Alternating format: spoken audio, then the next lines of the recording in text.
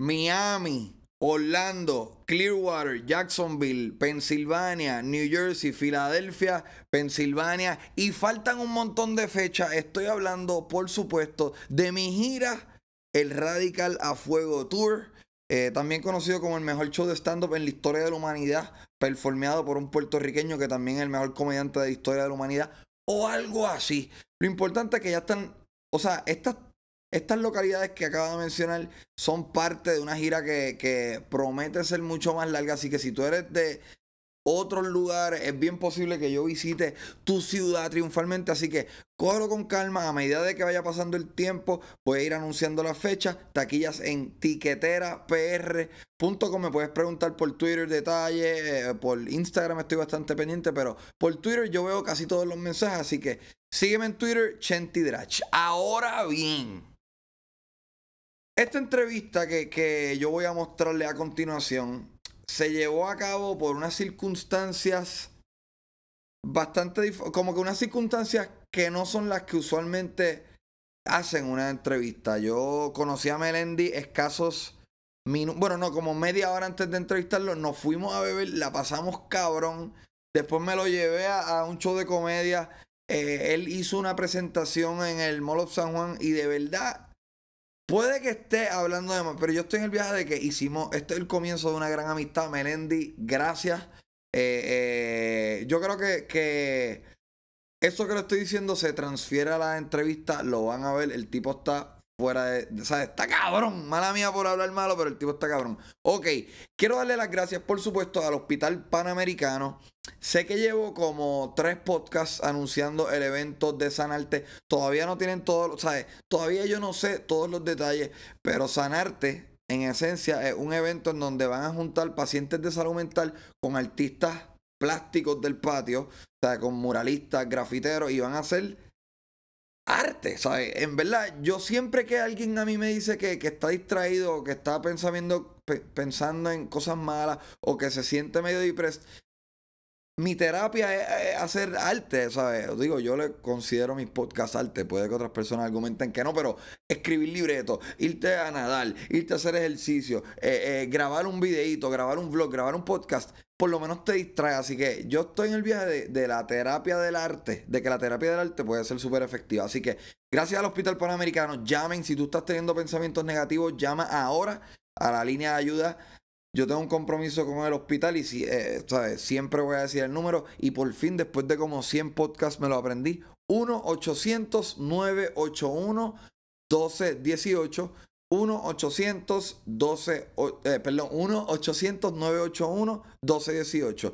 Quiero darle gracias también a Aeronet, el internet más triunfal, banda ancha, o alguien me corrigió que no se dice banda ancha, banda algo así, olvídate. Estamos hablando del mejor internet en todo el universo. Al igual que yo soy el mejor comediante en todo el universo.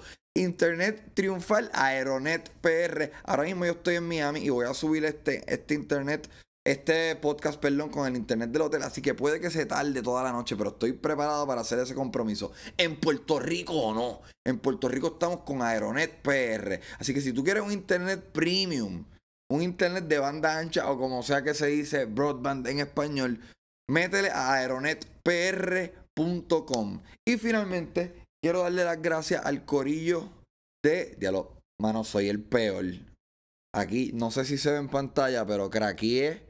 Se rompió mi celular por ver número 16 en lo que va del 2018. Así que tengo que pasar por Fon Boutique and Coffee Shop en la avenida Ponce de León, frente a la poli, para josear un arreglo, comerme un vistecito, un sandwichito, tomarme un café, en lo que me arreglan la pantalla de mi celular por ver número 197. Eh, exacto, desde la última vez que les dije, hace un segundo, un 15, hasta ahora 197, rompí mi celular toda esta cantidad de veces. O algo así. Dale like a Fon Boutique and Coffee Shop y visítanos en la avenida Ponce de León, frente a la Poli. Y ahora sí, Corillo, van a ser testigos de un podcast eh, súper memorable.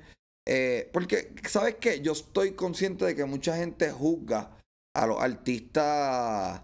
Aunque en el caso de Melendi, yo siento que eres rock, rumba, flamenco, pero está encapsulado como en el mundo pop de la balada. Uno lo juzga como, como son personas bien serias. Este tipo un vacilador de épicas proporciones. Disfruten de esta súper entrevista con Melendi. Siempre es extraño eh, arrancar estas cosas. ¿Qué es la que hay, Corillo? Yo soy Chente y hoy eh, tengo un episodio, tengo una ofrenda que hacerle bien especial. Se suponía que nosotros hayamos empezado a grabar esta entrevista hace como media hora, pero nos fuimos a beber. Nos dimos unas cuantas cervezas.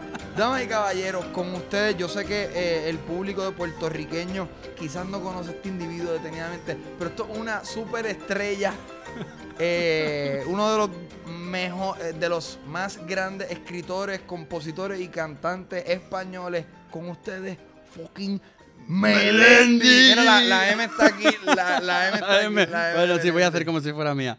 Ok. Yo, yo quiero decirte lo Ajá. primero de todo, Ajá, ajá. que un día hace tiempo eh, en mi muro de internet, de Facebook, apareció un capítulo tuyo, un podcast tuyo. ¿What? What? No. Tú ya lo sabes. Y desde entonces soy auténtico fan de este mamabicho. Wow, cabrón, gracias. Un honor, brother. Muchas gracias. Ok, voy a, voy a ofrecerle un poco de contexto. Eh, realmente llegaste hace como media hora y dijimos, ¿sabes qué? Vamos a comprarnos una cerveza. Fuimos al supermercado. ¿Puedo contar lo que nos pasó en el Claro, claro. supermercado? Y eh, estábamos en un supermercado aquí cerca del estudio, en el área de San Juan. Y de momento, a mí me toman una foto y me toman una segunda foto y Melendi me dice, yo voy a buscar la cerveza. Y te fuiste, fan. Y de momento yo, ah, porque la muchacha que se iba a tomar la foto me dijo, ay, se fue el muchacho que quería que él nos tomara la foto. Y yo pensando, esta cabrona no tiene la menor idea que aquí este tipo tiene 185 mil. Digo, ¿cuál es el video de Hash?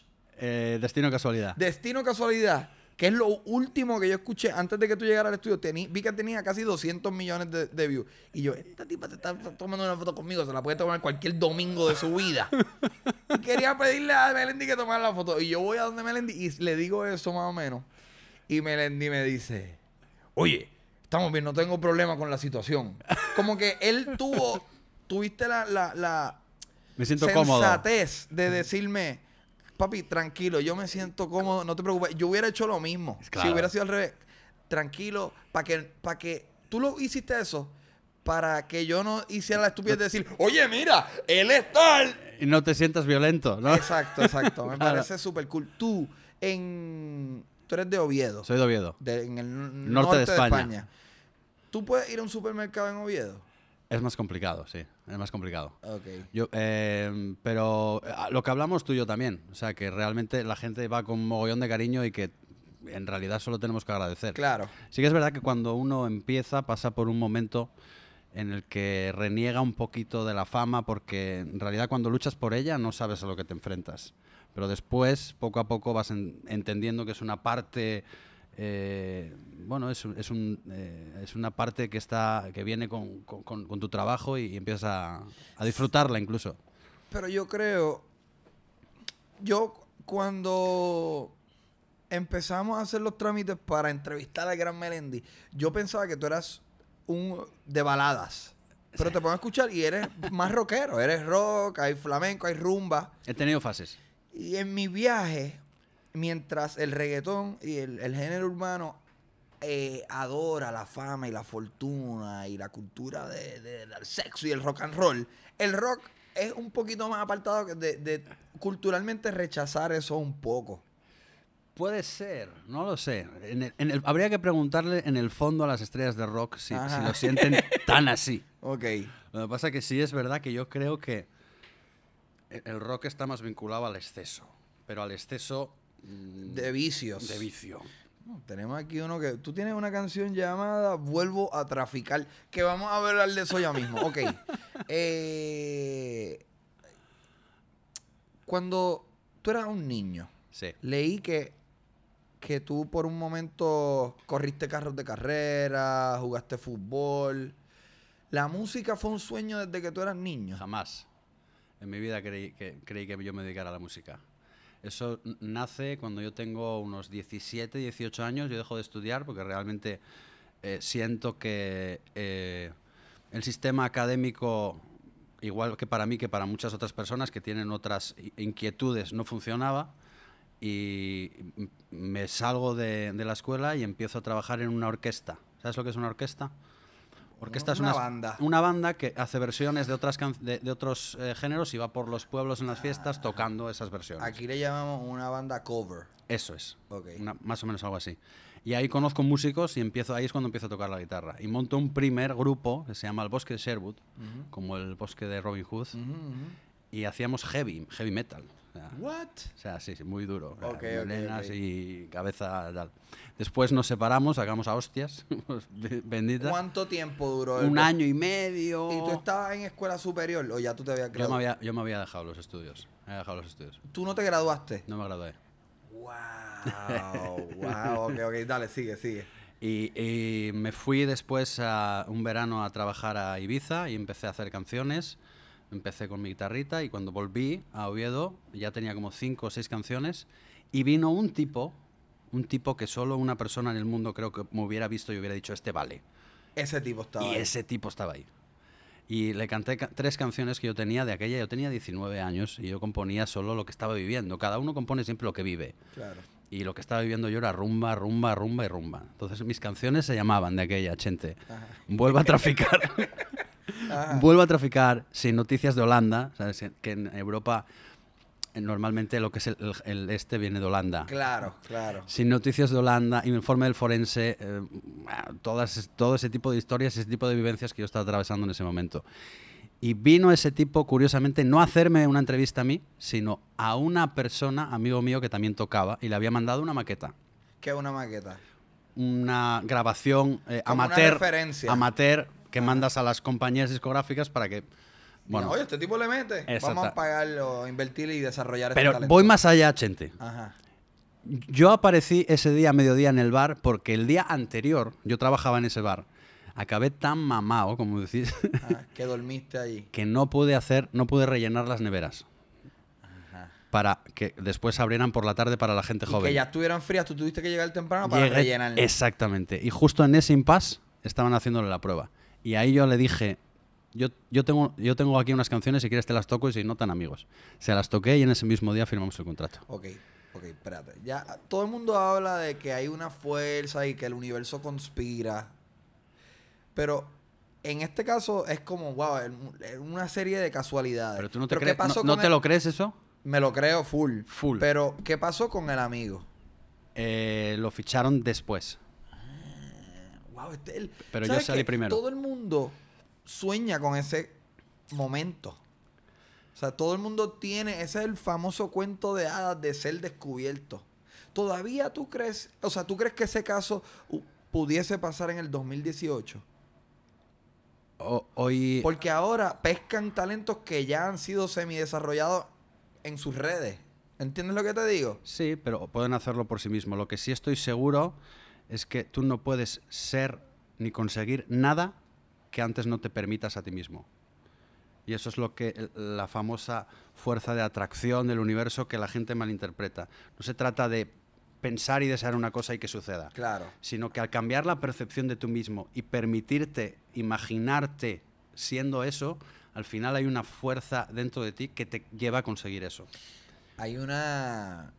Hay un cuento. Yo no sé si esto es un cuento bíblico, pero a mí me lo contaron una vez y me ha impactado tanto que yo lo he repetido un sinnúmero de veces. Chequéate esto. Habían dos granjeros y llevaban años de sequía. Y los dos granjeros le pedían a Dios, por favor, papá Dios, zúmbame agua. Tírame lluvia, que necesito lluvia para poder bregar con mis cultivos. Uno de esos granjeros preparó la tierra para que para prepararla para las lluvias grandes que venían. El otro solamente esperó que Dios le lloviera. ¿A cuál de los dos granjeros tú crees que le enviaron lluvia? Al que se preparó gallimbillo. No es solamente ser ley de secret. Déjame pedir que me hagan un bizcocho. Gallimbo, cómprate un libro de cocina. Exactamente. Brega con la harina. Hay que también preparar las tierras para, ¿sabes? Eh, eh, Poner la bola o la maquinaria a Exactamente, movilizarse. Exactamente. Digamos que cuando uno se lo permite, después aparecen las oportunidades. Ujú. Pero como no cojas las oportunidades, olvídate, no tienes nada que hacer. Es como yo recibo inbox casi a diario de nuevos talentos. Y ya casi ni los escucho. Pero realmente qué mejor.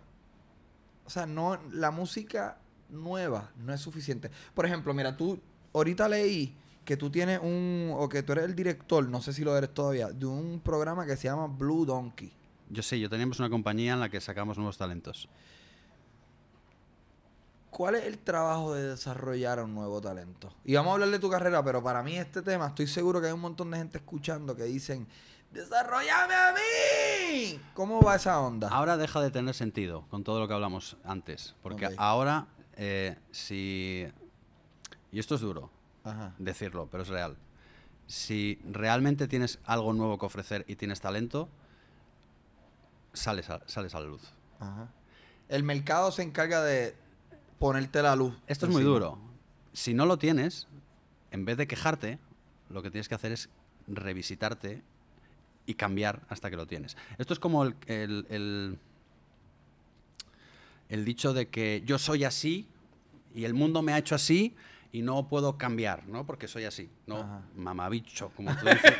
si tú eres así y te va como el ojete, Ah, o sea, pues deja de ser tan así y cambia. Porque si en un momento, eh, como todos, nos diseñamos cuando tenemos 13 o 14 años para sobrevivir por miedo y nos convertimos en un personaje, pues igual que nos diseñamos de esa manera, cuando nos damos cuenta, cuando pasan los años, que no nos hace feliz y que no conseguimos nada, que es darnos de cabezazos contra la misma pared, pues Claro. igual que empezaste te vuelves a diseñar claro. y, y hay una cosa que la gente no entiende. Los seres humanos aprendemos de los seres humanos, única y exclusivamente. Y en este, en este mundo para mí hay dos tipos de personas, los que disfrutan y los envidiosos. Los envidiosos jamás, jamás llegarán a nada por el simple hecho de que rechazan lo que ven. Y si rechazas lo que ves, te posicionas parcialmente por encima y dejas de aprender. En el momento que dejas de aprender estás muerto y te vas a pasar toda la vida diciendo ¿por qué este y yo no? ¿por qué este y yo no? ¿por qué este y yo no? Es así de sencillo. Yo creo que también el, el nuevo fenómeno del Internet, y digo nuevo fenómeno porque realmente es nuevo. O sea, el Internet Sí. como lo conocemos no tiene 20 años. No.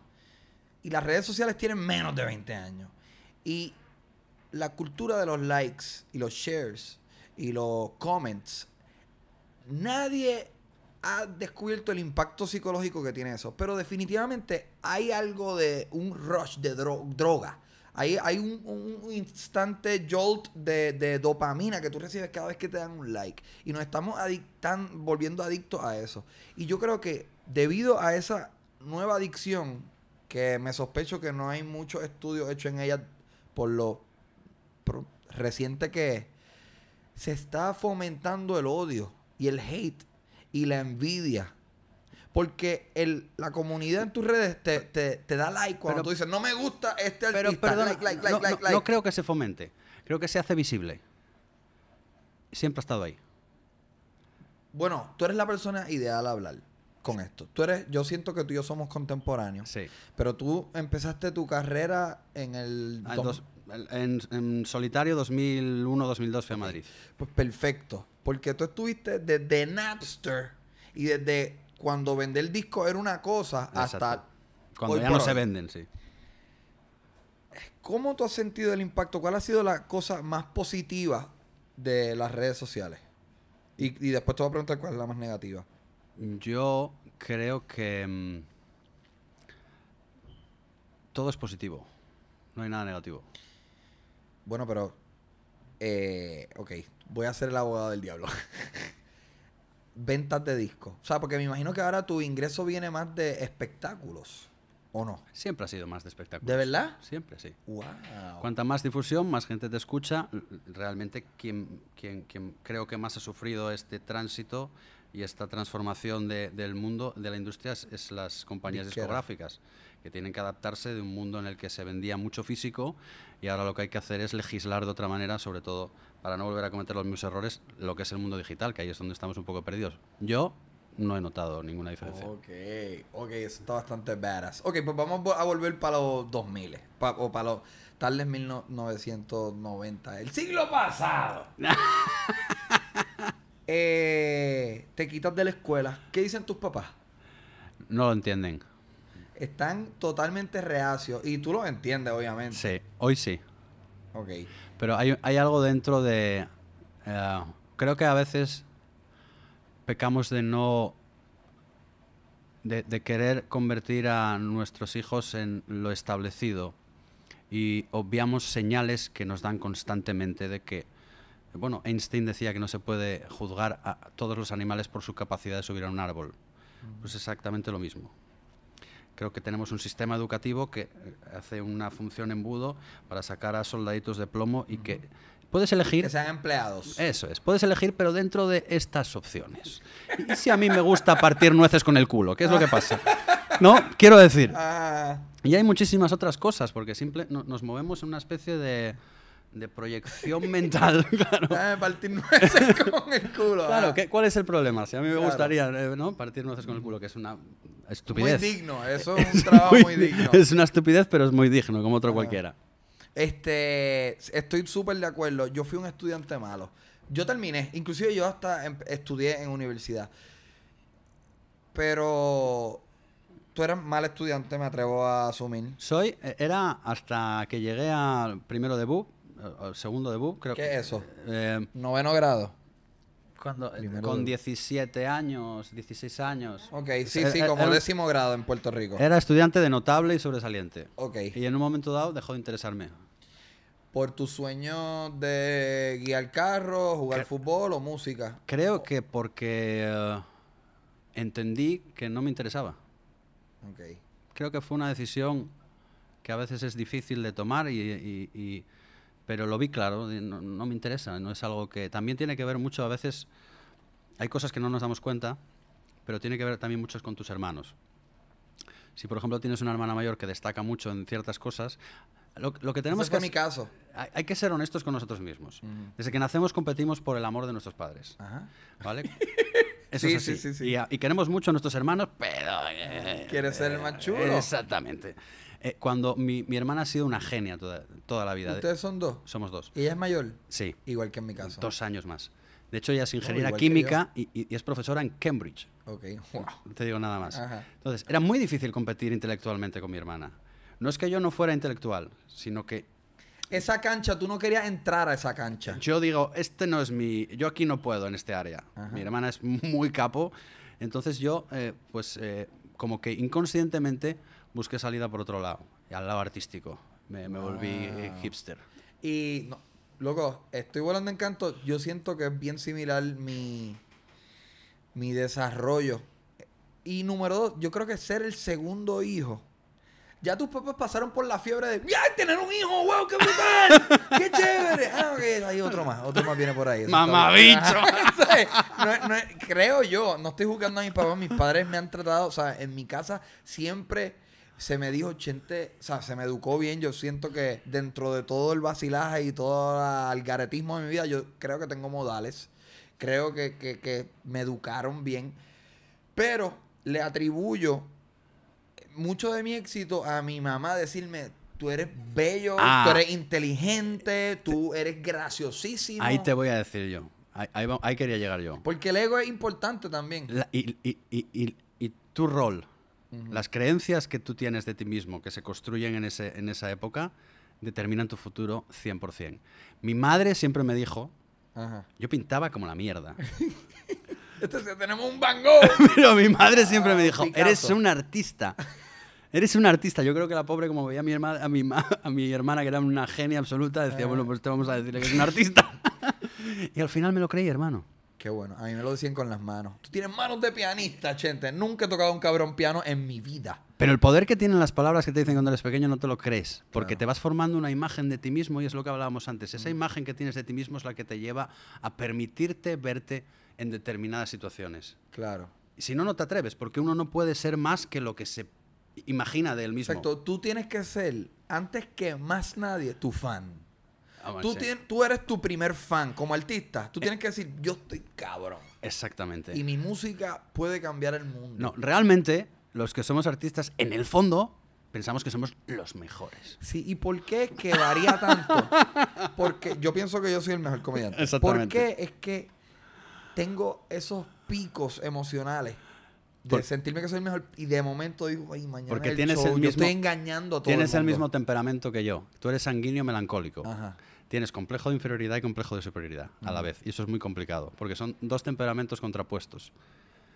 Eso te voy a decir yo, una persona, alguien que te tienes que leer, Hipócrates, que determinó el temperamento del ser humano por cuatro: sanguíneo, flemático, melancólico y colérico. Y tú eres el mismo que yo. O sea, que no lo hay que- un medium. no- sí, ¿Estoy aquí o estoy acá? Sí, Me siento que estoy mintiendo, engañando a la gente.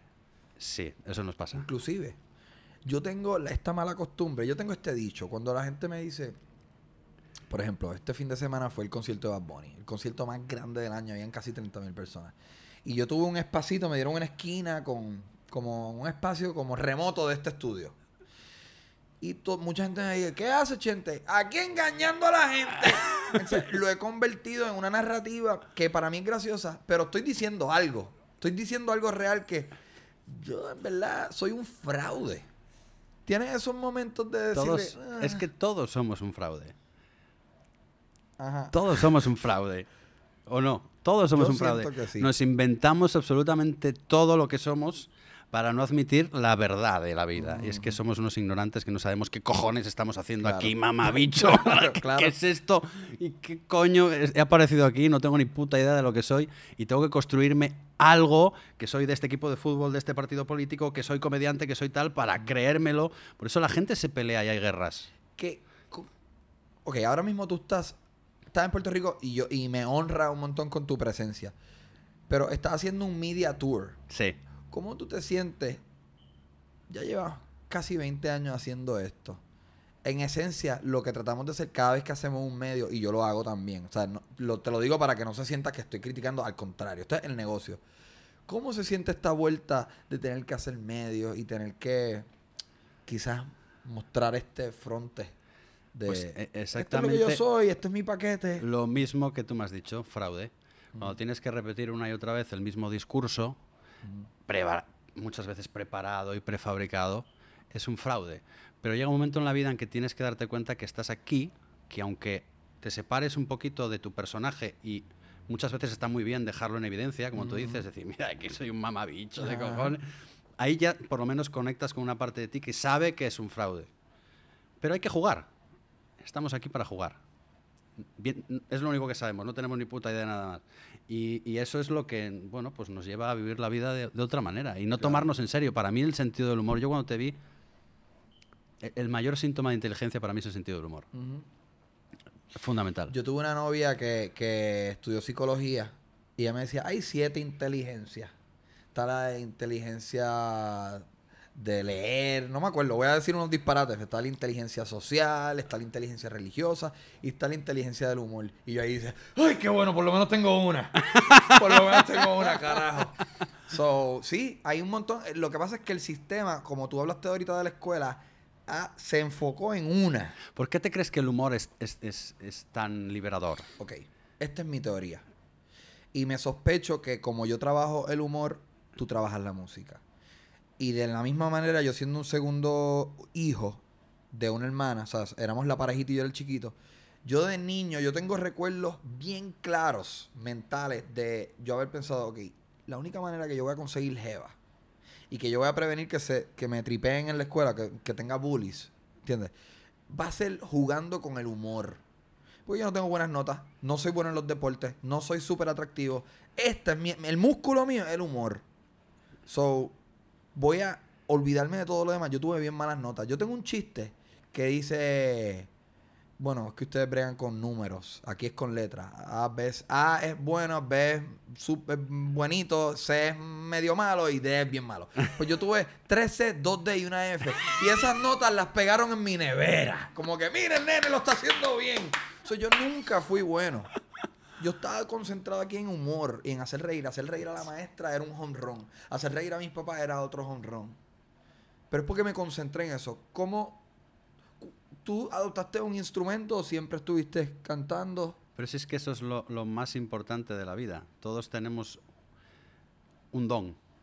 Lo, lo- lo- lo realmente importante es descubrirlo y potenciarlo. O sea, no vale descubrir soy gracioso, pero me quedo en casa en la cama y, y no potencio nada. Y digo, lo peor sería descubrir que tu don es craquear nueces con el culo. y decir, "Mm, moneti- monetizar esto va a ser un poquito difícil. Pero cuando descubres tu don, es tu pasión, tu trabajo no es trabajo, es diversión. Igual que el que descubre el don de cantar o el que descubre el don de que su don es ser panadero. ¿Por qué? Porque es sanguíneo y lo que le gusta es estar de cara al público. No tienes por qué ser eh, presidente del gobierno para cambiar tu vida ni tu entorno. No, no se trata de eso. Es, eh, y eso es lo que no nos enseñan en la escuela. Todos tenemos que ser lo mismo. Y no todos somos lo mismo, todos somos diferentes. Tú encontraste tu don y dijiste, esto es lo mío. Full, me metí de, de lleno ahí. Está claro. Esto se me va a olvidar, so vamos a cubrirlo. Estás ahora mismo, lanzaste el disco ahora. Sí. ¿Cuándo? Eh, hace un mes y medio. Ok, mes y medio. Y tienes. Tengo mis notas aquí. Tengo mis notas aquí. Eh, ahora es el disco. Y hay un. El sencillo es Mírame. El sencillo fue El Arrepentido con Carlos Vives. Ok. Pues tengo aquí una letra. tremendo, eso está tremendo. No me jodas mi narrativa. Tengo aquí una letra que dice. Ah, perfecto. Estamos brindando, damas y caballeros. Salud. Salud, Chente. Por una amistad que acaba de empezar y va a durar un montón. Fui al supermercado y lo, lo identifiqué. Salud, hermano. Salud. Ok, esto es una promo cabrona. A ver si te dan, como decías, una, Un auspicio, un un auspicio. auspicio. Ok. eh, mira, eh, esta letra a mí me tocó porque yo siempre, yo de mis amigos, yo era el pana de las relaciones, que siempre estuve en relaciones. Ahora mismo estoy en una relación, llevo cuatro años, anteriormente estuve seis años, anteriormente estuve cuatro. So, esta letra me, impactó y me tocó. El amor, esto es de Mírame. El amor siempre viene envuelto de regalos. Y como niño le arranca. Yo no sé, yo pensé cantarlo, no lo voy a cantar.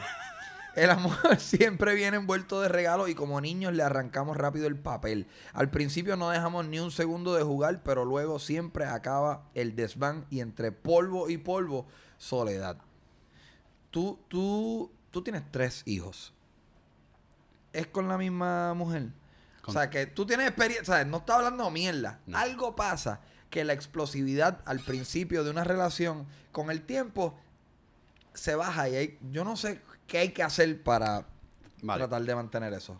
¿Podemos hacer una respuesta sencilla o, o ponernos filosóficos? Por favor, vámonos filosóficos. Filosóficos.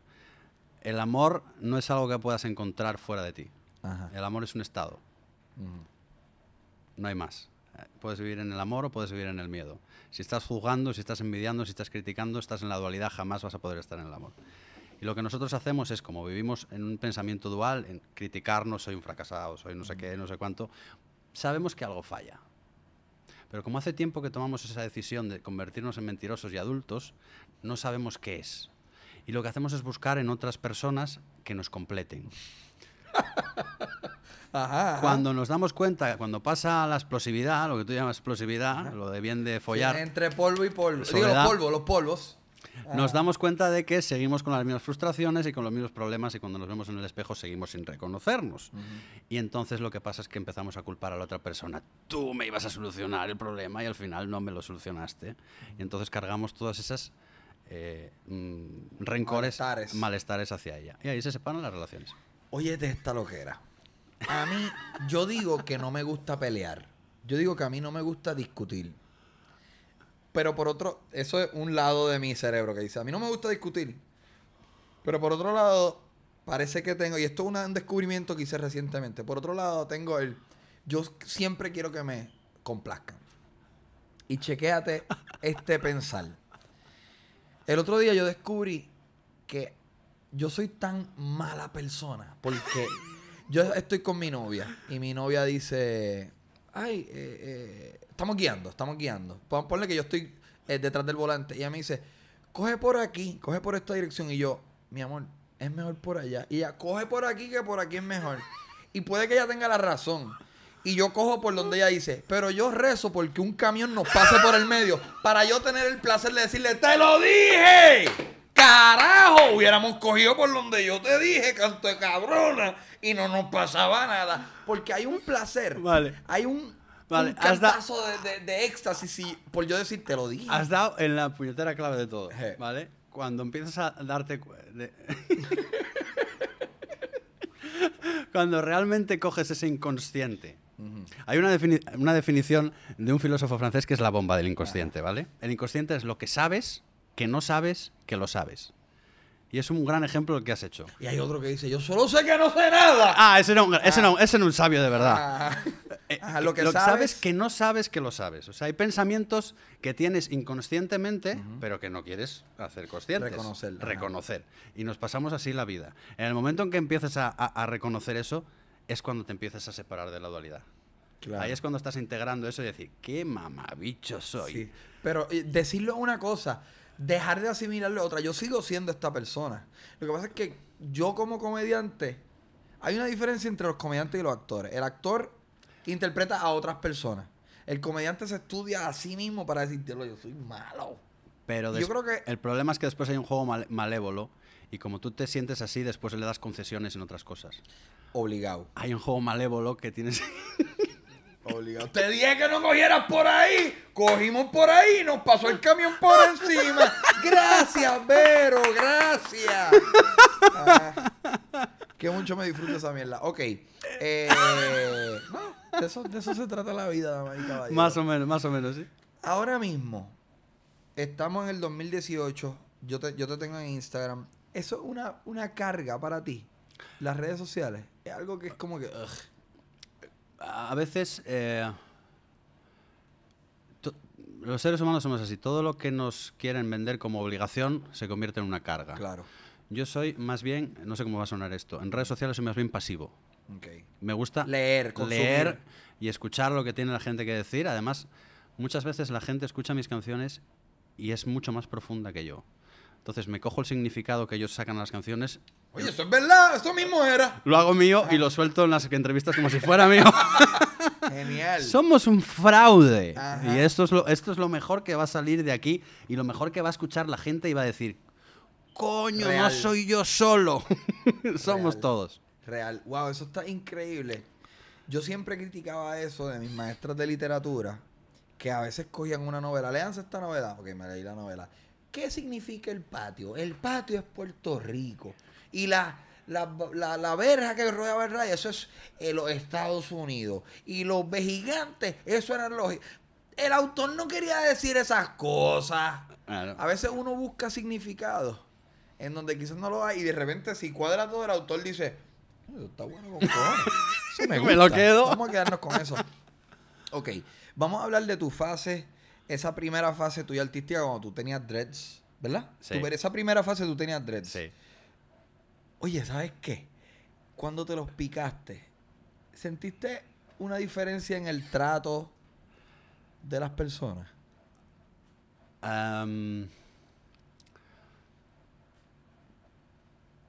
Es que eh, te- te- tendemos a culpar a, a, a todos y a El todo- exterior, A todos y a todo de nuestro interior.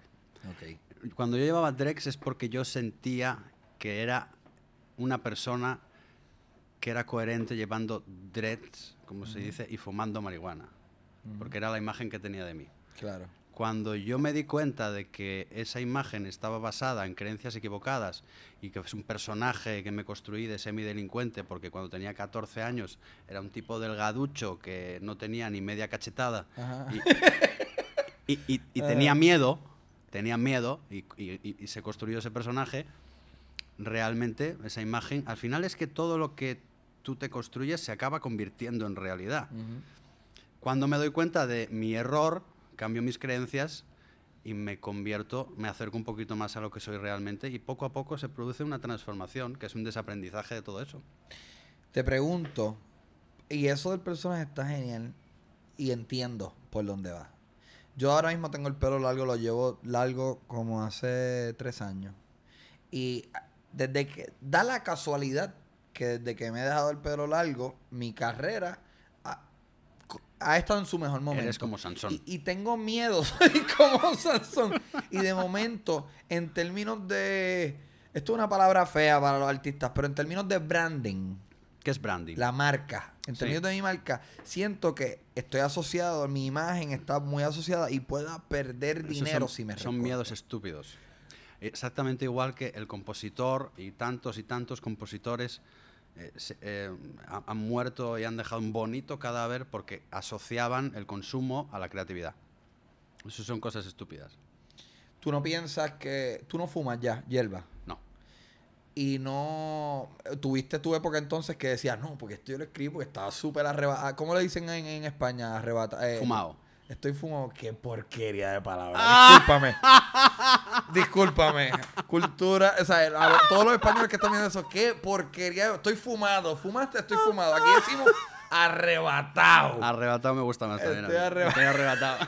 Estoy arrebatado. Ok. Sí. So, ahora mismo tú puedes escribir. ¿Cómo, ¿Cómo es tu proceso creativo? Mi proceso creativo, yo me pongo todos los días un par de horitas, nada más me levanto con el piano y con la guitarra. A veces no pasa nada. Eh, Es depende de cómo tú, de- de cómo estés de problemas y de cuántas cosas tengas en el inconsciente que no estés atendiendo. Si tienes demasiadas cosas en las que pensar, porque el inconsciente, que son estos pensamientos que pensamos que están ahí y que no tienen nada que ver con nosotros, ¿sabes? Que aparecen ahí porque aparecen, son cosas que tenemos pendientes. Si tienes demasiadas cosas pendientes es muy difícil que la creatividad en- venga, Claro. porque la creatividad es la ausencia del pensamiento. Exacto. Pero la crea- creatividad te tiene que coger trabajando. Hombre, claro. La- ¿Cómo es que dicen? La musa te tiene que agarrar ocupado. Eso lo dijo un tal Picasso, que quizás Ujú. sabía algo del tema. Exacto. Yo creo Picasso que sí. era, ¿no? A ver si voy a quedar aquí de intelectual. Ajá. No, porque estos huele bichos en los comentarios lo van a decir. No era Picasso, Claro, era sí. Chente. El mamabicho. Anyway, continúa. Sí, que tú, tú coges todos los días Todos los un días. espacio y si, si estás con muchas preocupaciones se te hace más difícil. Sí. Porque yo te diría, quizás un día malo puede ser inspirador. Ah, Es como todo. Llega un momento que el ruido se convierte en catarsis. Y la catarsis explota y te deja plano.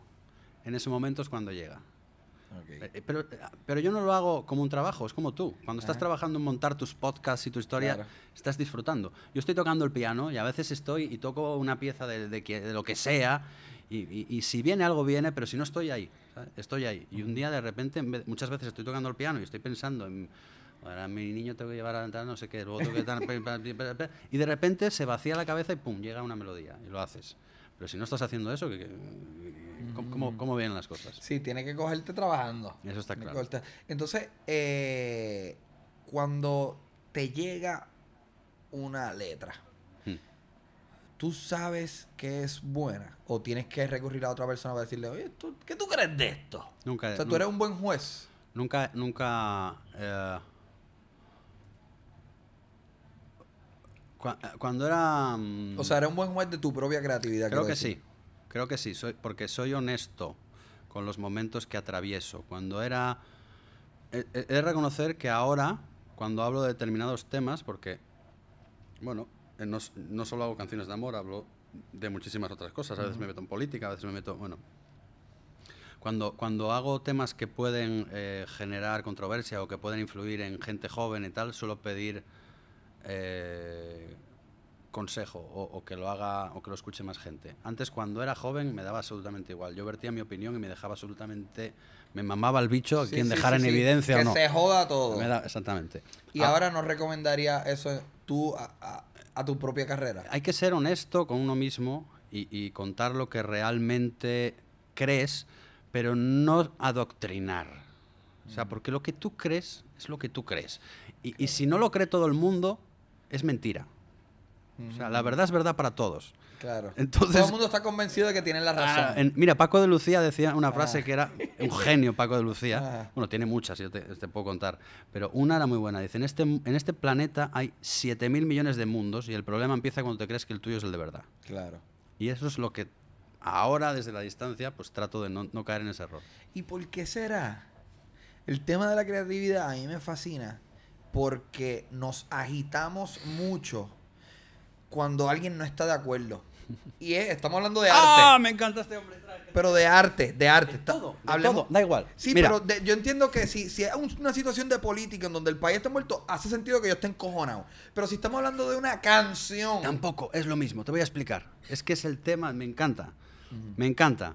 By the way, este podcast está bien hijo de la gran puta. Me encanta y te voy a decir por qué. Porque antes hablamos de lo mismo. No tenemos ni puta... El problema es que cuando atacan una de tus creencias, atacan directamente a tu punto de flotación. Yo voy a decir que soy de derechas o de izquierdas de este equipo de fútbol porque me estoy generando una personalidad. Porque en realidad Ese soy yo. no, ah, no tengo ni puta idea de lo que soy. Entonces, cuando te ataco eso, no te estoy atacando que tú seas de derechos o de izquierdas, sino estoy diciendo que tú eres un ignorante. Claro. Y en realidad todos somos ignorantes. Y por eso peleamos por nuestras creencias, para no reconocer nuestra ignorancia. Y así hay guerras y guerras, y repetimos la historia, repetimos la historia. Pero la realidad Peleamos- es no hacerse las preguntas trascendentales. Para no reconocer nuestra ignorancia. Ahí lo tienes. Eso está cabrón. Eso es Paco de Lucía también. No, bueno, esos son Wow, años de investigación, bueno. de introspección. Eso está bueno porque nos gusta, y yo peco de esto, nos gusta llegar a la agresividad.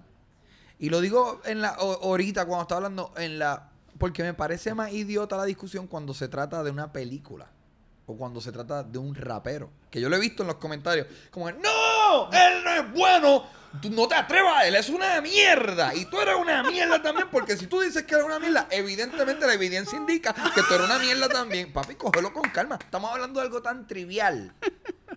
Esto es una mierda. ¿Es así? Estamos hablando de mierda. Salud. Salud. Mm. Es buenísimo, pero es que es la, la verdad, eh, vamos.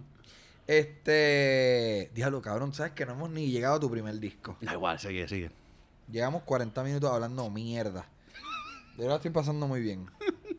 Ok. Bueno, por lo menos leí la, lírica- la, la, la lírica de. Estoy borracho ya. La lírica de Mírame. Ok. eh, en ese momento en el que a ti te descubre, desde que tú tienes el momento del cuento de hadas, tú eras mesero. Sí. Yo fui mesero y es un tema que a mí me fascina. Inclusive cuando yo me senté con Pedro Capó, hablamos de ser mesero, nosotros fuimos meseros en el mismo lugar. Y a mí me parece que la cultura del servicio, a mí me aprendió, porque yo trabajé también en publicidad, trabajé un tiempo en un banco. Y la de todos esos ambientes laborales, el más que enriqueció mi vida fue el de ser mesero. A mí también. ¿En algún momento llegaste a atender a alguien con quien tú soñaste con Alejandro? No, No. no, tuve la suerte. ¿Dónde trabajaste? Trabajé en Ibiza, trabajé en las Islas Canarias, trabajé en Segovia, algo que es extraño porque es un, una- un sitio del interior pero que tiene cultura universitaria. Yo, yo he estado en Segovia. Ah, Segovia es el Segovia. lugar del cochinillo. Sí. Muy rico ese cochinillo. Y sobre todo trabajé en Asturias. Entonces, eh, estando en un lugar como, hablemos brevemente de Ibiza. Ibiza, mirándolo de afuera, yo nunca he estado, mirándolo de afuera me da la impresión que es todo cultura nocturna, bebedera, eh, me imagino que hay una cultura de pastillas y drogas bien fuerte. Eh, eso fue parte de la inspiración en esa primera etapa de tu carrera.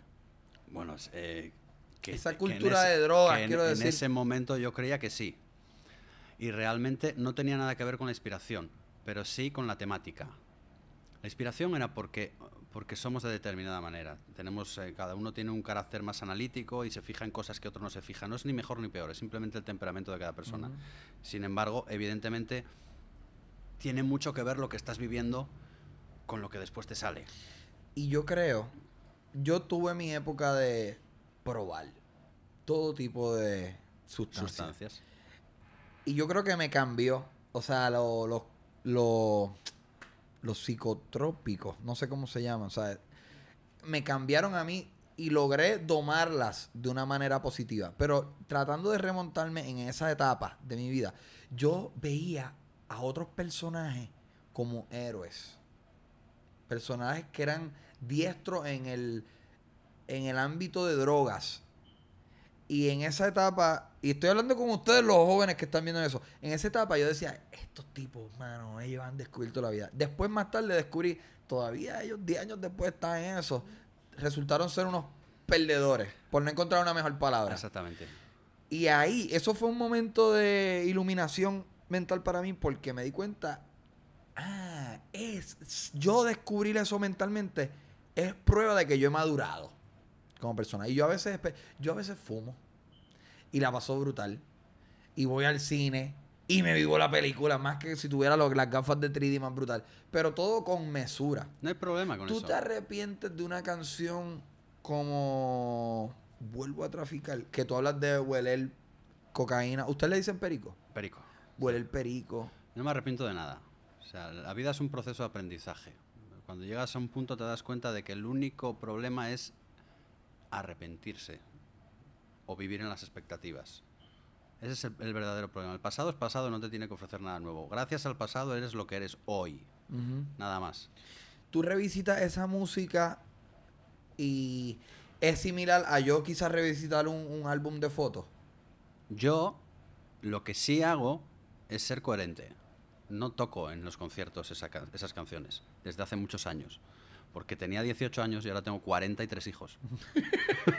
Entonces no me siento cómodo, hace muchos años que no me siento cómodo en el escenario cantando canciones, pero eh, es, mu- es muy estúpido juzgarse ahora con lo que sé, con 40 años, a un niño que tenía 18 y seguir alimentando esa culpa, porque encima nos gusta flagelarnos. Claro, claro, eso es nos, chévere. Nos encanta, nos Sí, encanta. Y es absurdo, no puedes juzgar a un chico de 18 años con la información que tienes ahora, es estúpido. Ok. Con eso dicho, y es lo último que voy a tocar así medio controversial. Dale, dale, dale. Yo leí en tu Wikipedia acerca de una trifulca Sí, en un avión. así es. Hubo puños. Que tú, No. tan, tan así No. que hubo que el piloto dijo, ok, no vamos a llegar, vamos a virar y tuvo que aterrizar nuevamente en España. Bueno, eso- esos eran los últimos coletazos del rock and roll. Ok, por favor. No hubo puños, no hubo nada. Simplemente, si es verdad, éramos un equipo de gente que estábamos tomados. y en el avión, pues bueno, empezamos a, a tener una diferencia en, eh, diferencias eh, de pensamiento. Ya sabes que lo que pasa cuando te quieren No quitar de la. acuerdo. Star Wars, Star Trek, Star Wars. ¡Star Trek! Eso Ajá. es. Unas diferencias. Ajá. Y al final, pues las diferencias. Bueno, terminaron diéndose la vuelta al avión, pero nada. No, no hubo ni violencia, ni. Violencia verbal, creo que sí, quiero recordar. Pero no hubo violencia física. Sin embargo, ese, ese episodio de mi vida, que la gente cree que yo. que para mí ha sido algo wow, tremendo, eh, ha sido uno de los puntos de inflexión. Cuando vives en eh, tu proyección mental, te crees que eres el más guay del mundo. Que es un guay. Brutal, el mejor. Wow, yo como molo con mis drags y todo el mundo me sigue Ah, porque he vendido un millón de discos hablando de porros y de- Ok. Y tienes que, tiene que suceder algo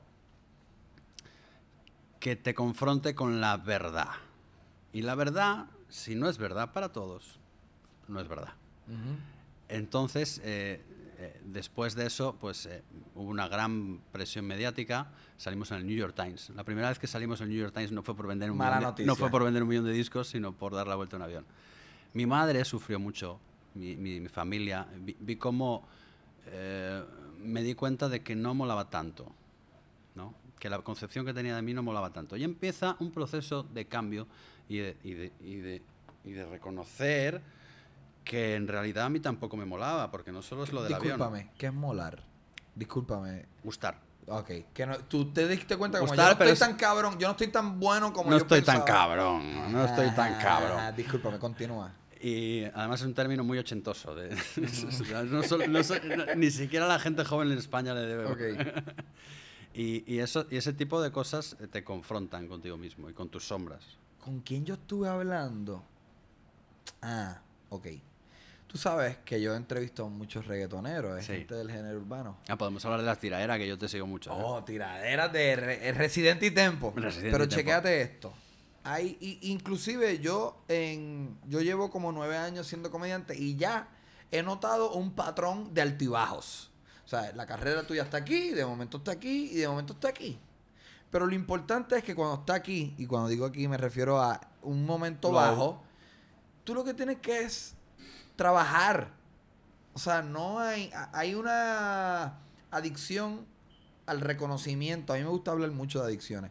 No es a la creatividad. Es Es, que a que te eh, digan, ay, eso está bueno, muy bueno. Y, y lo que tienes que hacer es seguir trabajando. El- Y no tener miedo a, a- a fallar. Claro, el, el problema es eh, que sí es una adicción.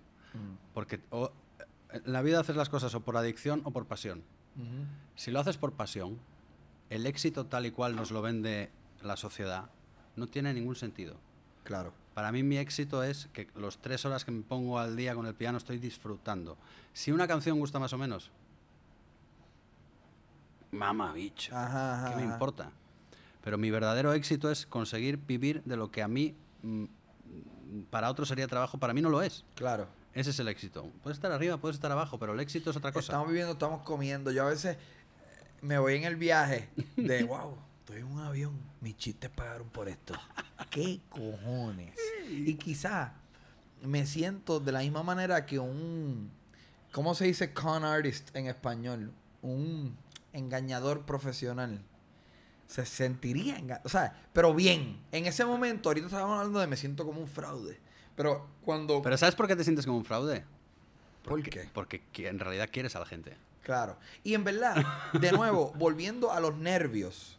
¿Tú te pones nervioso antes de un show? Mucho. Uno lo hace porque quiere hacer algo cabrón. Sí.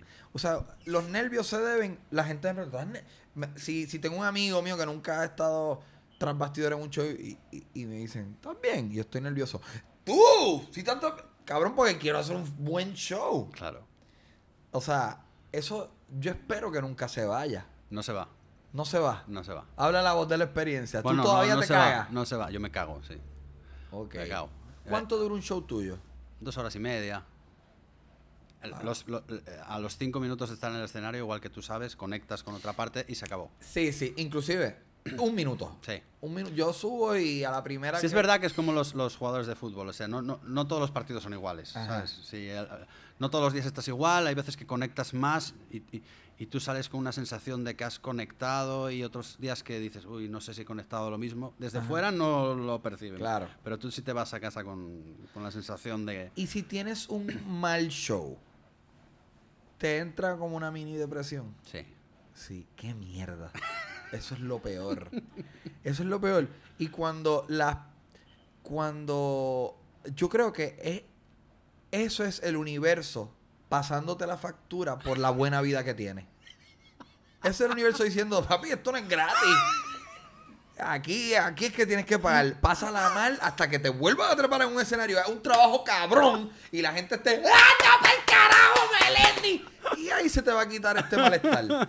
¿Verdad? Sí, porque en realidad eh, el, haber estado mal, aunque no lo queramos admitir, es una decisión nuestra. Bueno, pero el público puede ser malo. No, ¿Tú crees que no? Esto es un debate bien interesante. es una decisión nuestra. Porque estamos en... en- tenemos eh, cosas en la- eh, venimos cabreados por algo, venimos cabreados por algo y nos castigamos a nosotros mismos por castigar a quien creemos que nos está haciendo algo. Ok.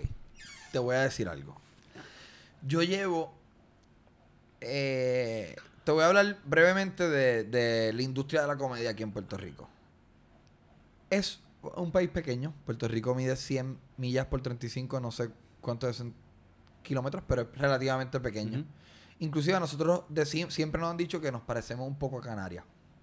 No sé en, Sí. en masa cuánto eso, pero nos parecemos culturalmente. Anyway, eh, la manera de yo desarrollar un chiste, a diferencia de la música, que tú escribes una canción, la grabas y me imagino que tratas de duplicar esa grabación en público, pues nosotros, yo escribo y digo y voy ajustando noche tras noche. Ok, hoy dije este chiste de, de, de la cerveza.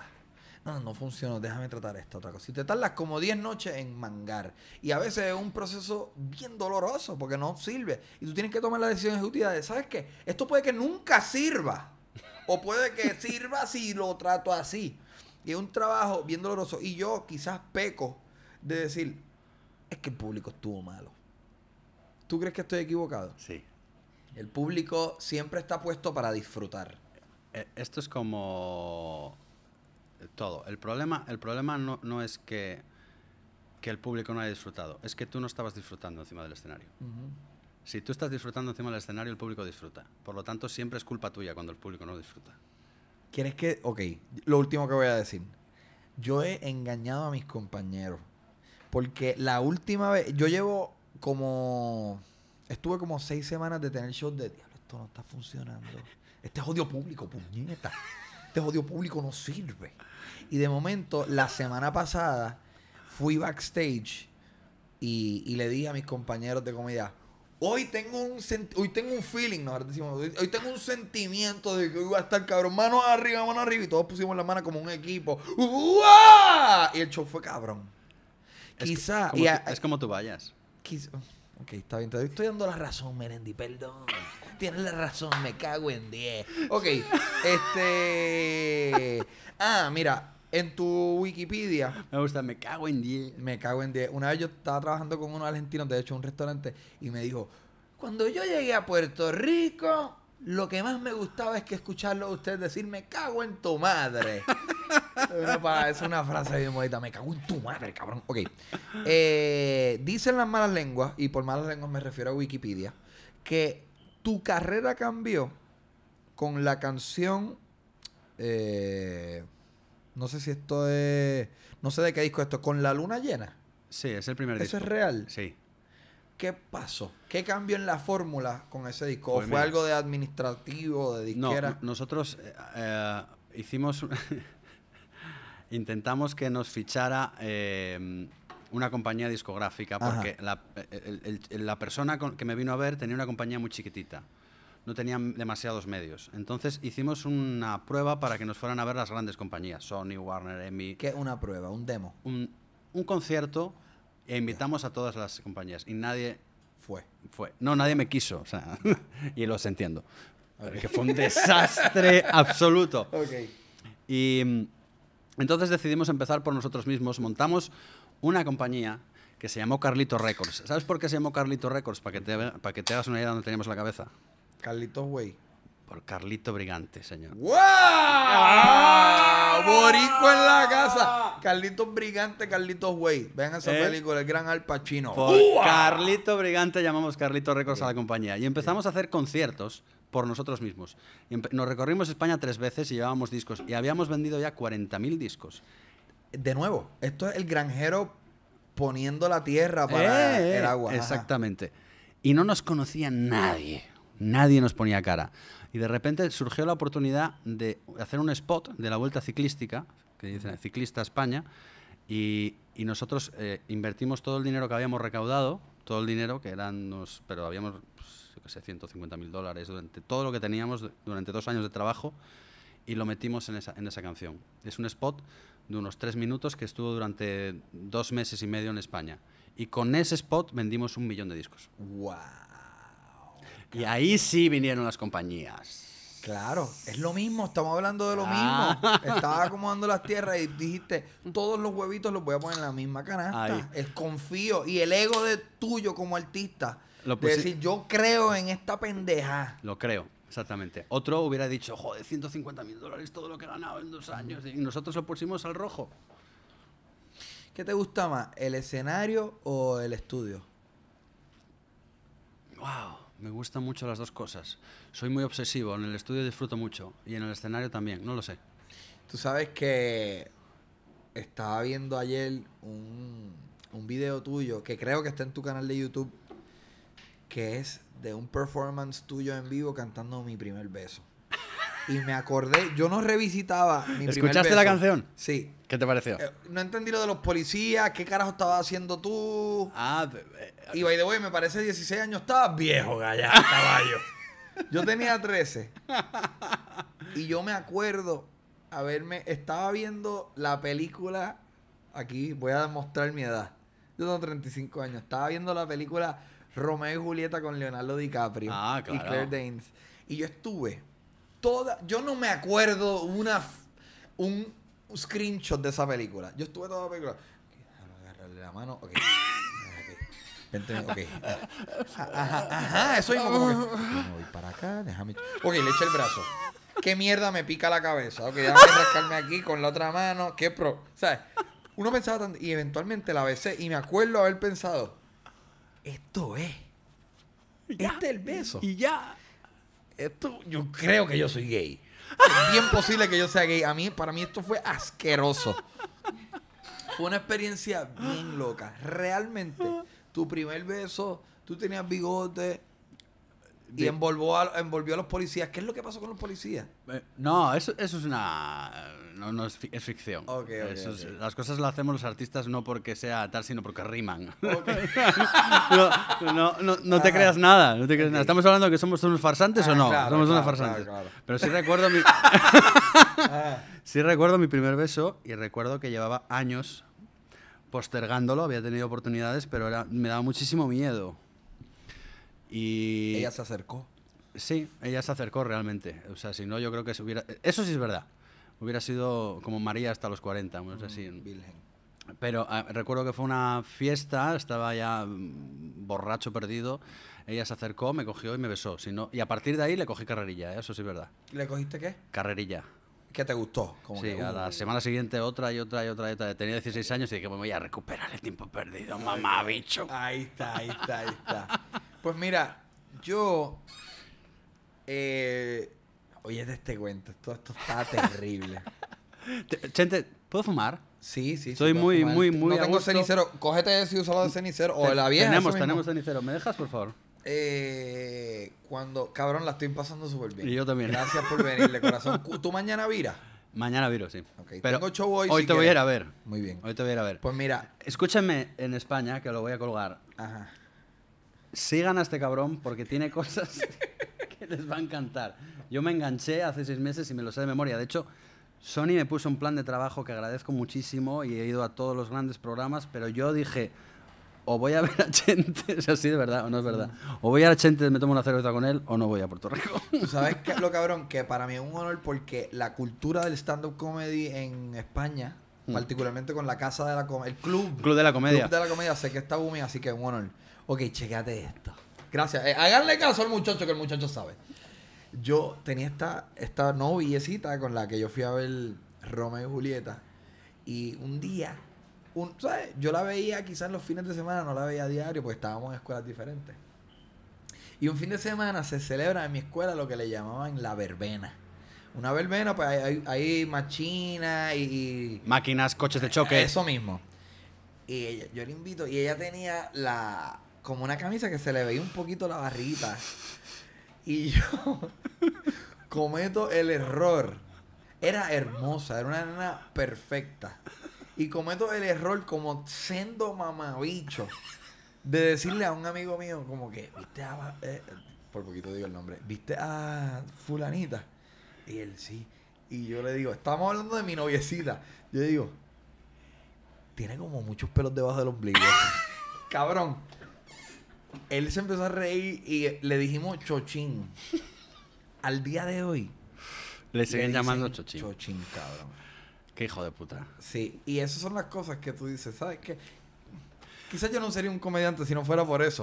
todo, todo, todo te lleva. Es como lo, lo- dicen que la- la- las mariposas afectan el universo, que Sí. cada, cada vez que mueves su ala, todo afecta el universo. Yo también lo creo. Ajá.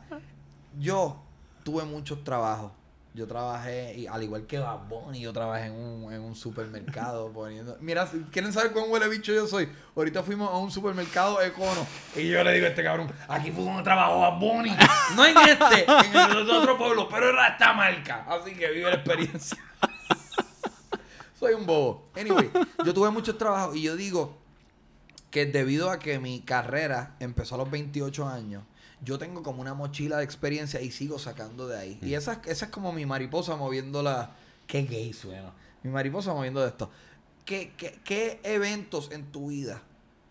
Porque yo en mi complejo, en mi juventud, yo habían tipos mucho más atractivos. Yo decía, coño, si yo fuera como él, que me pudiese besar con cualquier chica.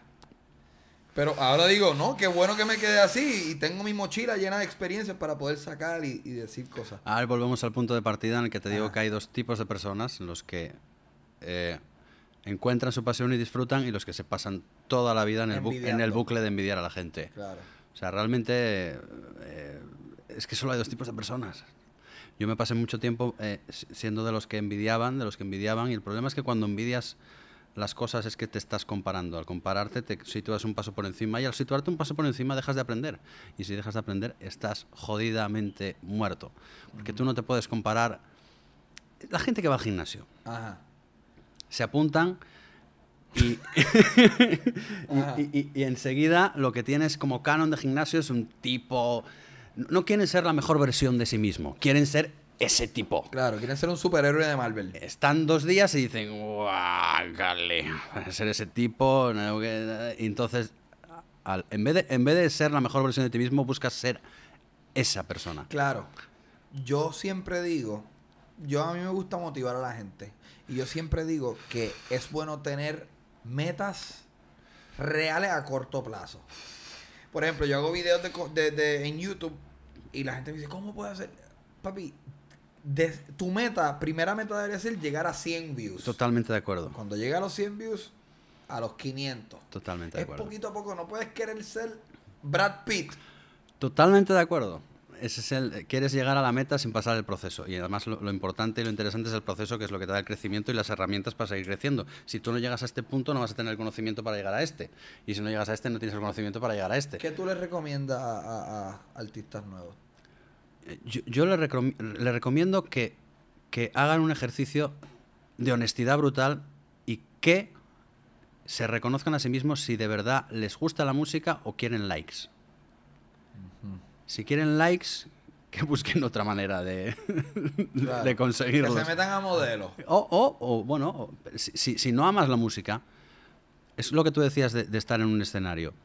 Las- la función sale mal porque tú estás mal. Si, si tú no disfrutas encima de un escenario, eso no se mantiene. Algo pasa en el aura de uno que la gente sabe. Hombre. Él no está ahí, no, no lo reconocen, pero hay una comunicación Está- intercorporal. que- Ahí está, todo unido. Está todo unido. Y, y el, y el público es todo menos idiota. Exacto. Este. Te iba a preguntar, me gusta mucho eso de los likes. Mira lo que tengo aquí. Una pelea en el avión. este. Ah, ok. Hablemos de la famosa canción de los 185 millones de likes. Sí. Destino Casualidad con Hash. Con Hash. un grupo de chicas. Sí. Eh, ¿cómo, ¿Cómo se crea ese junte? Pues es, es otra de las eh, cosas de estas que atribuyes al universo. Esa canción nunca hubiera estado en un disco, fíjate. Voy a decir una cosa que es, bueno, no sé si la puedo decir realmente. No, no lo voy a decir. Todo el mundo dice, ah, pues está bien, no lo digas. No, no lo voy a decir porque es demasiado... Pero estaría brutal que la diga y que se joda. Pero está bien, no lo digas. Ajá. Ah, O piénsalo, analízalo. No, A- mira, una manera de te, censurar. te digo, te digo, te lo puedo decir. Eh, eh, estamos hablando sinceramente, porque voy a esconder. Eh, Mira, cualquier cosa, después tú me puedes decir, no pongas. No, no, no, yo si lo cuento, lo cuento. Ok. Mira, eh, hace dos discos yo cambio de Warner a Sony, ¿vale? Eh, ha sido un traspaso complicado, pues porque sabes que, bueno, pues en grandes compañías hay intereses de por medio. Y en el acuerdo de traspaso del primer disco con Sony, tres canciones pertenecían a Warner, ¿vale? Una de esas tres canciones cre- que le di a Warner, ¿cuál crees que es? Esa de hash. La primera, Destino Casualidad. ¿Por qué? Porque eh, una cosa es cuando tú ves el resultado final, que dices, esta canción mola. Y otra cosa es la frustración que hay detrás de esa canción cuando lo compongo. Hay canciones que nacen, igual que monólogo, supongo, del tirón, porque encuentras un- una idea que te... Te enamora. Enseguida Esto dices, es ¡guau! Ya es tirar del hilo y ya está. Una obra maestra. Eso es. Ajá. Y otras que salen con, pues, hijo, corta pega, esta estrofa de aquí, el puente de allí, el estribillo de allá. Y dices, Buah, esto es una mierda como un piano. Y no tienes fe en esa canción porque detrás de ella hay mucha frustración. Sin embargo, eh, te das cuenta, eh, lo que tú decías antes, el filósofo de que solo sé que no sé nada, que no tienes ni puta idea de nada, cuando encima, cuando sale el disco y esa canción es la más escuchada en todas las plataformas y en todos los sitios. Y dices tú, carajo, llevo 20 años haciendo canciones y no tengo ni puta idea. O sea, Claro. que hasta se la di a Warner. Esa es el prim- la primera casualidad. Igual que contigo, una semana antes de coincidir con Hash por primera vez, que no las conocía, en mi Facebook aparece un eh, vídeo de un eh, acústico que hacen, o no sé cómo se llama, que están con un coche ellas, un, un primera fila, ¿vale? Y yo digo, wow, estas chicas, ¿cómo cantan? ¿Cómo mola? Tenían 200, 300 millones y digo, wow, ¿cómo mola? Y empecé y me tragué el, el primera fila. A la semana, sin querer, de repente me las encuentro en Barcelona en un festival y digo, what the fuck. Y esa canción, curiosamente, eh, habla desde la... está narrada desde la perspectiva de un hombre y una mujer. Claro. Y yo digo... mm, Esto es- el universo me está mandando a llegar temprano porque estoy muy descojonado poner la cerveza en la barra. Exacto. Es como depende de cómo te tomes la vida. Si tú, si tú vas atendiendo ciertas señales, las cosas aparecen. Otra cosa es que te diga, eh, mamá, bicho, casualidad, ni que leches. La canción se llama Destino Casualidad, también. Wow. Y yo, y yo les dije, ven para acá. yo tengo que enseñar una canción porque, eh, y es que les conté tal cual te conté a ti, les conté todo lo que me había pasado. Y cuando eres honesto y le cuentas a las personas todo lo que había pasado, las personas dicen, wow. Mm, Se me pararon los pelos. Y dijeron, vamos a hacerla. ¿Tú eres un tipo espiritual? Ah, ah, eh, todos somos espirituales. Claro. Otra cosa es que lo queramos reconocer o no. No, yo soy bien espiritual. Y me imagino que vamos por el mismo plano de. Sí. Ay, ah, o sea, esto no es casualidad, casualidad, casualidad. No, O sea, hay alguien ahí como diciendo, llega, coge un hangover, no pongas la cerveza en la barra, ponlas mañana. Ah, mira lo que te coloqué ahí. Te voy a poner a Chente en tu Facebook. o sea, hay cosas que son... Yo tengo mis, mis momentos de Dios no existe y casi siempre estoy ahí. Casi siempre estoy ahí. Pero casi siempre digo, "Diablo, es que pero- hay alguien velándome porque esto es demasiada casualidad. Pero es que, es que nosotros hemos crecido, nuestra generación, en un falso, un falso catolicismo. En- Yo en- soy católico. O sea, yo me crié en un hogar católico. Y yo, en un, y yo en un falso catolicismo, en los que nos representan que el- un Dios es un señor con barba y está separado de todo, ¿no? Y le- todos rezamos a un Dios. Realmente lo que yo pienso hoy por hoy, y puedo estar equivocado, porque si no es verdad para mí, si no es verdad para todos, no es verdad, Ajá. Es que realmente Dios es todo. Dios eres tú, Dios soy yo, Dios es esta señorita, Dios es todo. Todo está interconectado. Eh, lo- y, y- y eso te lleva a, a interpretar tu vida de otra manera, interpretando las señales. Puedes estar equivocado o no, pero es, un, es una manera de vivir la vida, es una locura que a mí me ha funcionado. Y que casualmente, con todas las personas que tienen éxito, tal cual lo vende la sociedad, que son, yo lo pongo entre comillas, ven la vida de la misma manera que yo. Claro. Sí. Estoy de acuerdo. Estoy de Tú acuerdo. entre ellas. Ajá. Este, Melendi, no hemos cubierto tan siquiera tres cuartos de tu... Ni, ni mitad. Así que me atrevo a exigir una segunda... Una segunda parte. ¿Sabe Dios? Y en, en España. Cuando yo vaya para allá, llevo mi micrófono. Mira, mira. Yo te voy a llevar, yo te voy a llevar a la Paramount. Vamos para allá. Oye, way, voy a contar una historia. Estoy borracho, que se joda. cuando, cuando yo tenía 18 años, mi papá eh, tuvo un viaje a España Cuéntalo todo, de verdad. y yo dije... Ok, voy a contarlo todo. Se joda. Voy a contar todo el contexto de la situación. Mi mamá... Yo fui un joven de muchos problemas. Un joven muy problemático. Y mi mamá se encojona conmigo. Un día yo, yo casi siempre estuve con mi mamá desde que mis papás se divorciaron. Digo, mi papá siempre estuvo pendiente, pero yo decidí estar con mi mamá. Pero yo veía a papi casi, casi cada tres días. Y mi mamá dice, vete para casa de tu papá un tiempo. Y en ese tiempo mi papá tenía un viaje. Que era básicamente su, su luna de miel. Su luna de miel en- en- con su nueva esposa. Y vamos para España. Y yo voy para allá. Y para este tiempo, imagínate, no los euros ni existían, era todavía con pesetas. Y, y, y, y pues yo estoy mi primer día en España y voy para la el Parque del Retiro. el Parque Retiro. Parque de Retiro. Y yo estoy así sentado así, tratando de verme como un títere así en la esquina. Papi, yo soy calle. A mí me dicen Daddy Yankee. Y de repente pasa un muchacho y dice, oye, ¿quieres? Y yo, lo que tú dices. Es lo que tú dices. Que si quieres. Y yo, ¿cómo tú hablas? Hachís. Yo estoy hablando de momento como un mexicano. Pero yo, ah, dale cabrón, zumba para acá. Y me vendió, yo creo que como, como por 10 mil pesetas, una cosa como del tamaño de mitad de mi dedo índice de hash. 10 mil pesetas por eso. Eso fue una cogida de pendejo. me, metí- me cogieron de pendejo por hash y descubrí el porro y la pasé cabrón. Tuve el mejor viaje de mi vida porque me hice amigo. Entonces, para colmo, mi papá me decía, bueno, ¿y qué hiciste hoy? Y un día yo le digo, estuve jangueando con unos grafiteros aquí en Madrid. Y mi papá me había dicho, estás jangueando.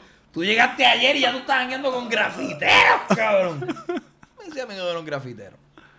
Entonces, yo no sabía enrolar. O sea, porque ahí la cultura, yo no sé si es que en, en- en España no hay hierba. Sí. Sí, bueno, pues para esta época a mí me lo vendieron como que no, aquí no hay mucha hierba, es hash. Y lo mezclaban con, Con tabaco. tabaco. Y le decían porro. Y yo me jugué, pero yo no sabía enrolar. So, cuando yo estaba en el hotel, yo lo que hacía era mutilaba el hashes y lo ponía en una pipita que construí con un bolígrafo. Y fumaba como un tecato, como un crack. Bueno, funciona igual. Entonces, fumaba. Y en mi nota, cogí la pipa. Y cuando estaba haciendo la maleta, la puse en la maleta. La pipa con una peste cabrona. Que si llega a ver perro o algo en el aeropuerto, le iba a pasar bien mal. Llego a mi casa y ya estoy de vuelta en casa de mi mamá, whatever. Y para esta época yo iba a un psiquiatra. Ya estoy diciendo toda mi fucking vida, que se joda. Y un día yo llego a, a mi cita del psiquiatra, ya yo guiaba aquí, y yo llego, y está mi mamá y mi papá, yo, y ya puñeta, aquí pasó. algo". y cuando empieza la cita, mi mamá dice, yo encontré esto. y yo, ¡ya, puñeta! Anda pa'l carajo. Y yo, es que yo estaba andando con unos grafiteros en el Madrid que me comieron el cerro. Yo no quería hacerlo. Pero la pasé bien. Pero nada, quería contar esta historia. La pasé muy bien. España está maravilloso. Eh, saludo al tirador de droga que conocí en, en el retiro. Esto fue antes del Pero, 2000. eh, no vamos a despedirnos sin dejar en el lugar que se merece al señor Idelectrox. Y de Electrox, mámame este bicho, por favor. Te voy a decir una cosa, Idel. eh, he venido aquí solo para estar con ustedes y bueno, entiendo que te has hecho amigo de Mark. Sí, sí, porque Idel ayer estaba, te vimos que estabas yendo con Marc Anthony, él te fumaste un cigarrillo con él, él no sabe tu nombre.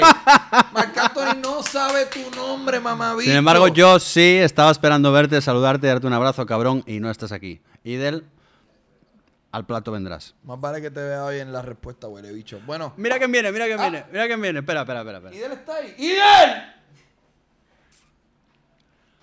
Mira quién llega aquí. Mira quién llega aquí. ¡Ah, de pinga! Mira, ahora estábamos hablando mierda de ti ahora mismo, Yo cabrón. dije que venía. Ahora mismo estábamos Un hablando placer. mierda de ti. Estábamos hablando, te quiero ver eso. Está, porque ahora tú eres el amiguito de Marc Anthony. Uña y carne, son uña y carne.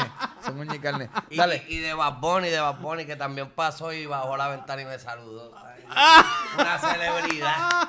Eso es lo malo de tener un manager que de momento cobra fama y de momento no viene. Mira, venga a trabajar, mamabicho.